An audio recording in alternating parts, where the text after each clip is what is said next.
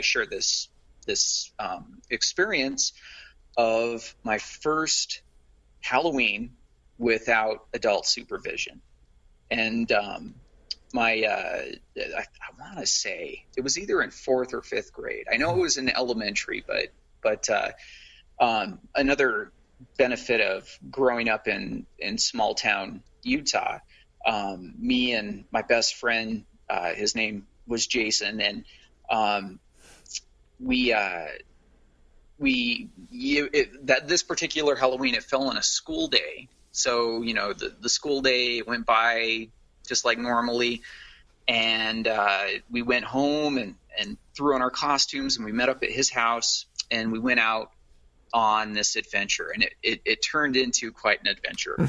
Um, so we we uh, we're, we're going through uh, the neighborhoods near his house and we uh, uh, we amassed this really impressive amount of candy. And uh, um, we we of course used pillowcases. And uh, it had a couple of hours had passed. And we were both in a neighborhood that neither of us had ever been in before. Um, and it was starting to get dark, but, uh, you know, we were just really hauling in the candy, so we didn't really pay too much mind. And we started down this street, and this is exactly, this is not embellishment, this is exactly how it played out. But I just had a sensation that something bad was about to happen. So I planted my feet. I stopped walking, and my poor friend Jason, you know, he apparently did not pick up on the the bad vibes, and he kept on his, um, you know, his his happy way. And before he knew it, he found himself in the midst of the most terrifying, motley group of middle school girls you ever laid your eyes on.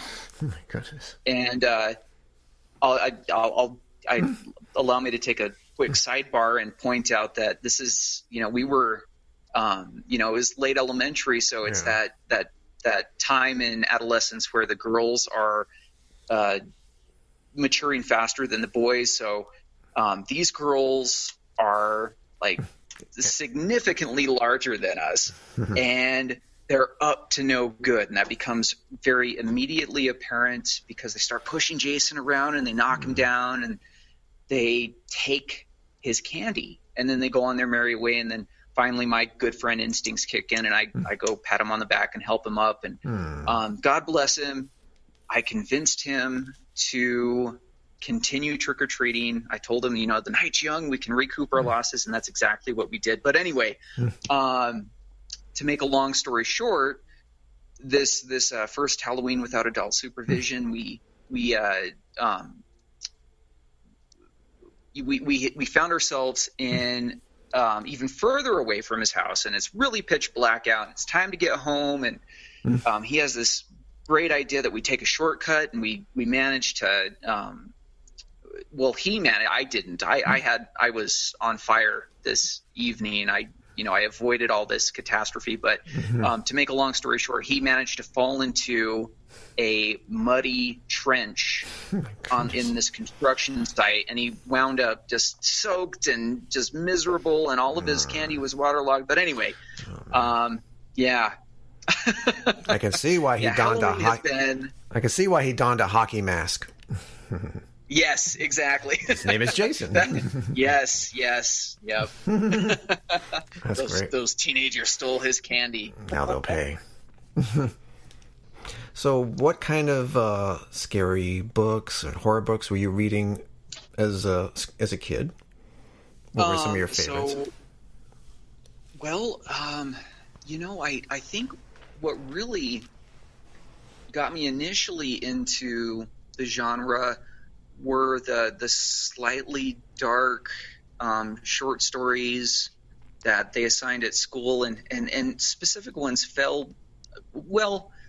Yeah, yeah, yeah. I can't I can't think of any real specific ones on the fly, but the ones that really got their hooks into me, uh, it should be of no surprise to anyone close to my age, but um, the Goosebumps series, of course, and uh, the uh, um, what was it? Scary Stories to Tell in the Dark, that series mm. as well.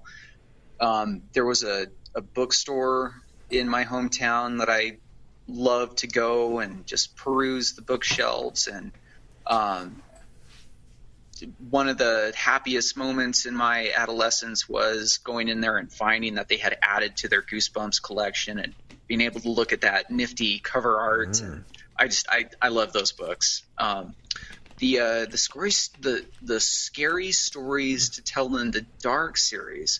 Oh my gosh, that that series I I loved as well. Um, in fact, when I was a kid, and for the longest time, I thought that this was just lost to history. But uh, um, I actually found a someone had uploaded this to YouTube, but there was an audiobook uh, version of that that came out along with the books back in the early 90s. Um, I had it on cassette, but that was such a prized mm-hmm. possession when I was a kid. Yeah.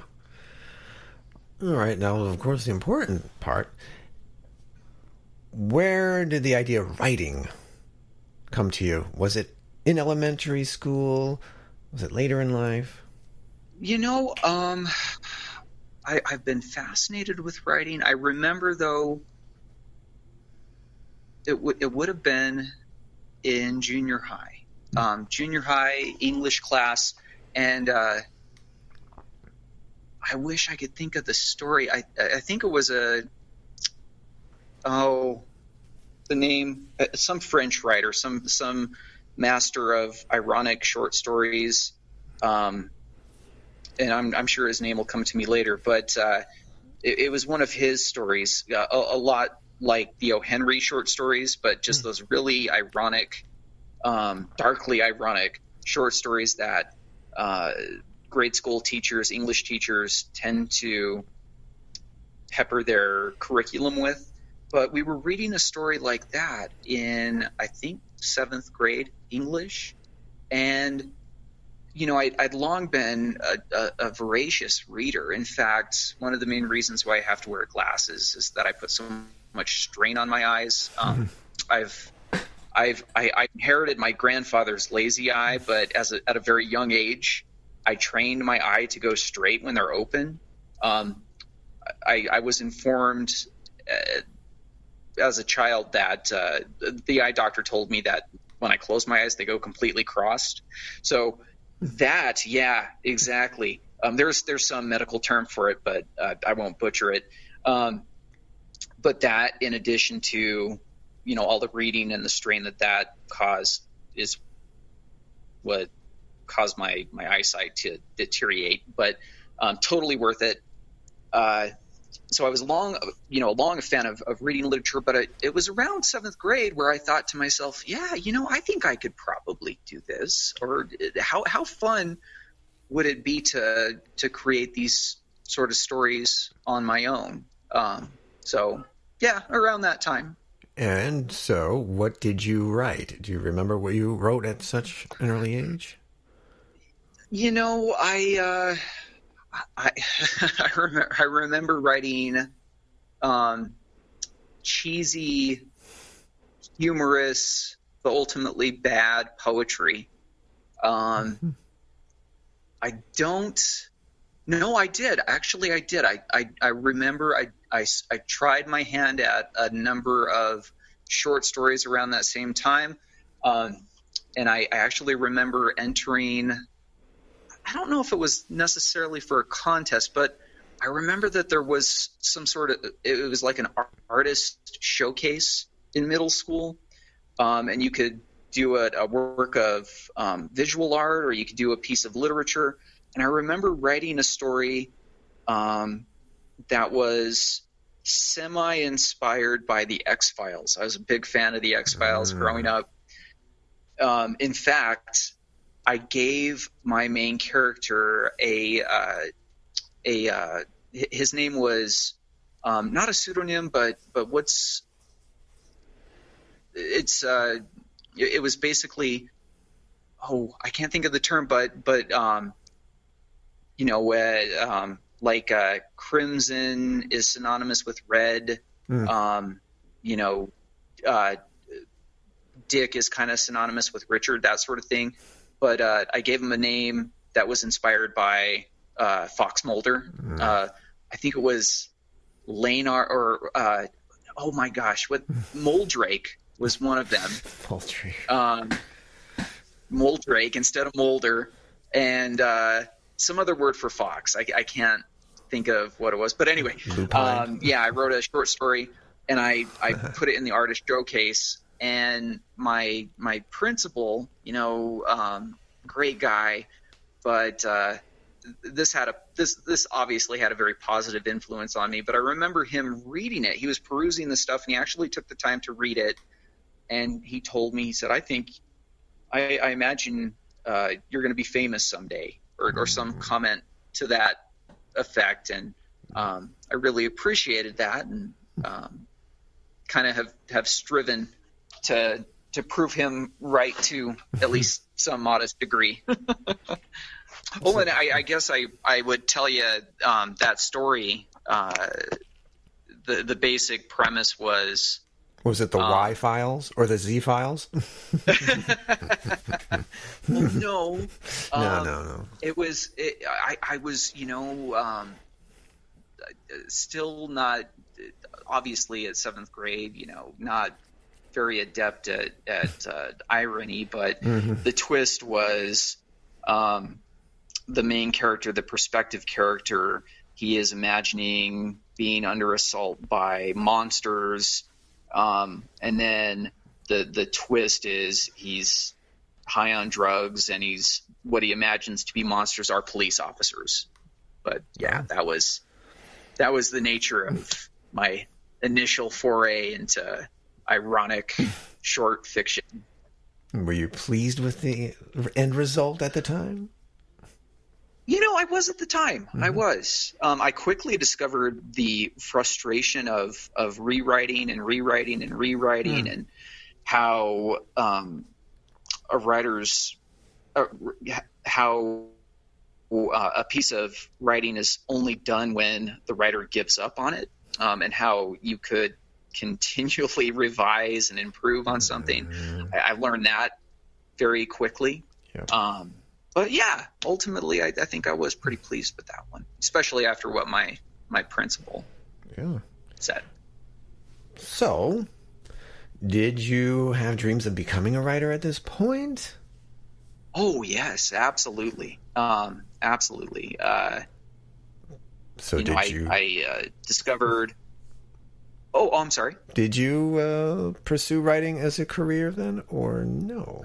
Well, um, you know, I, I did. I, you know, I had those fanciful notions of, of being a professional writer, and I, I, I flirted with the idea.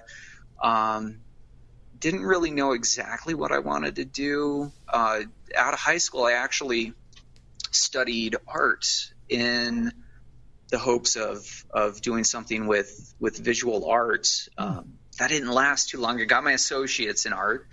Um, but then I decided, you know, uh, I like I like art. I just don't think I have enough natural talent for that to be what I really dedicate my focus to.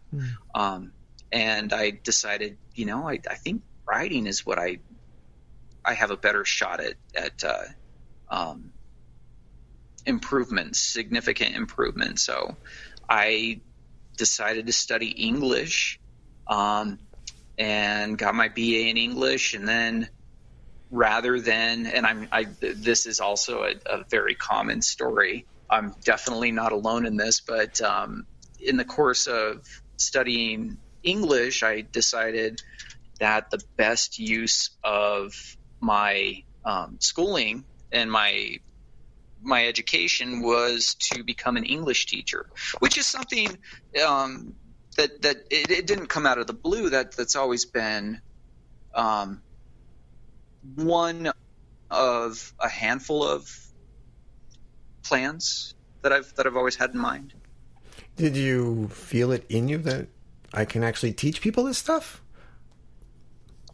Yeah, I think so. Um, you know, I, I was blessed with some really fantastic teachers when I was a kid. Um, it's funny, in fact, my